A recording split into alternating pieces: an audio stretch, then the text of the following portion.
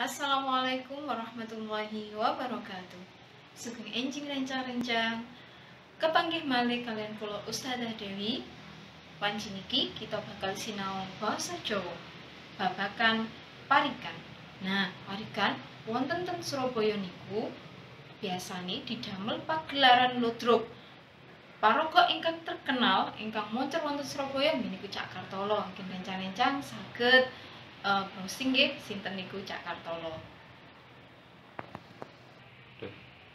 Parikan niku wonten kali jenisi. Parikan kang dumadi saka rong gatra lan parikan kang dumadi saka petang gatra. Parikan kang dumadi saka rong gatra, gatra kang kawitan niku ukarae narik kawigaten. Gatra kang kaping pindho niku isi utawa nasihat atau pesen saka parikan niku.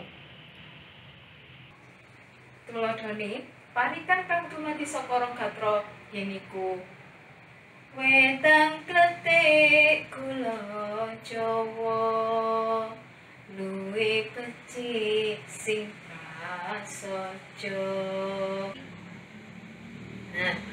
tuladhane parikan kang dumadi saka sekawan gatra yeniku Esuk-esuk kulaan roti tuku madulan kula Jawa.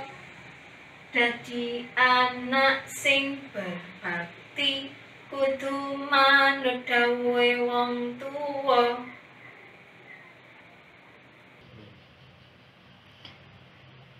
Parikan kang dumadi saka sekawan gatra, gatra kang kawitan lan gatra kap kaping pindho niku ukara kang narik kawigaten. Gatra kang nomor telu lan kang nomor papat niku isi utawa pesen saka parikan niku. Wedang kletik kula Jawa luwih becik sing prasaja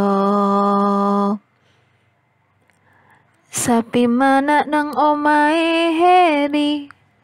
Dadi anak kudu sing teberi. Esuk-esuk kulaan roti tuku madulan kula Jawa. Dadi anak sing berbakti kudu manut dawuhe wong tuwa Rencang-rencang nggih niku damel video parikan kalian nembang kaya tuladhane ustadzah wau. Cekap semanten saking ustadzah. Wassalamualaikum warahmatullahi wabarakatuh.